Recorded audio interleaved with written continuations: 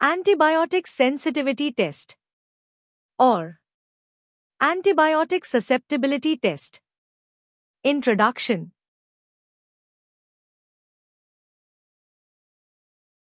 The test which determine or identifies sensitivity of an antibiotics towards a particular bacteria is called antibiotic sensitivity or susceptibility test. A number of antibiotics are available in the market which are sensitive towards different microorganisms or bacteria. Antibiotic sensitivity test determines that which antibiotic is suitable for treatment of a particular bacteria. Before treatment of patient with antibiotics, its sensitivity towards the disease-causing bacteria must be determined.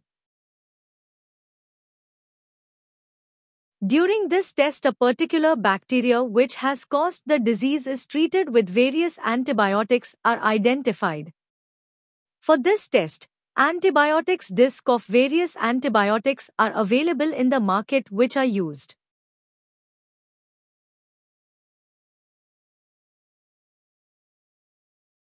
In this test, a culture of bacteria is treated with various types of antibiotics discs in a culture plate or Petri dish.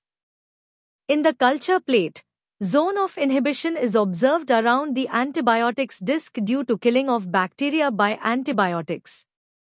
The zone of inhibition produced around antibiotics discs are measured and compared with standard chart.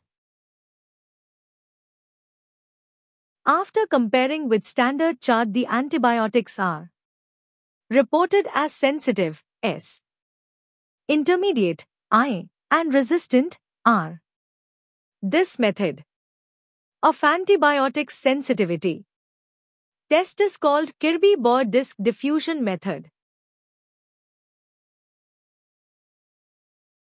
Procedure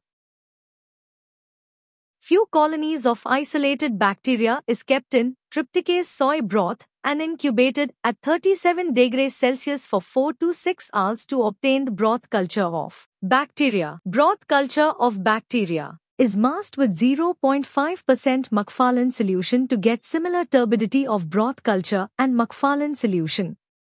Then broth culture of bacteria is spread in a Petri plate containing MHA, Mueller-Hinton agar, by the help of a cotton swab using lawn or carped culture method.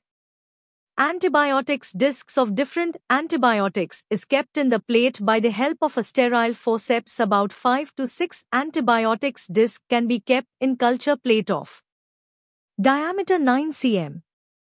Antibiotics discs are placed about 20 mm inches to edge of the plate and the gap between two antibiotics discs should be about 20 to 25 mm. The discs should be slightly pressed in the culture media after they are kept.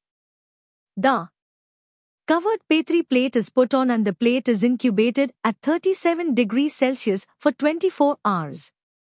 After completion of incubation, zone of inhibition are observed around each antibiotics disc due to killing of bacteria by antibiotics. Zone of inhibition produced around each antibiotics disc are measured by the help of measuring scale.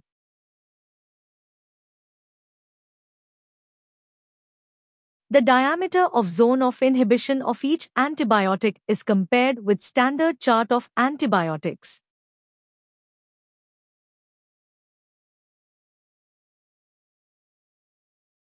Result and interpretation After comparing with standard chart, antibiotics are reported as sensitive, S, intermediate, I, and resistant, R. Sensitive, S, means the antibiotic is effective against the tested bacteria.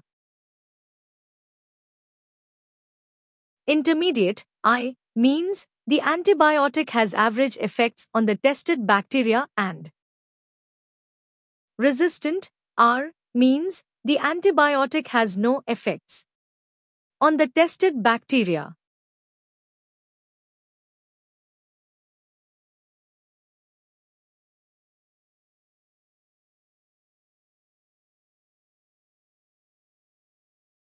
Some antibiotics discs are ampicillin, azithromycin, penicillin, amoxicillin, erythromycin, ciprofloxacin, gentamicin, chloramphenicol, tetracycline, cefuroxime etc.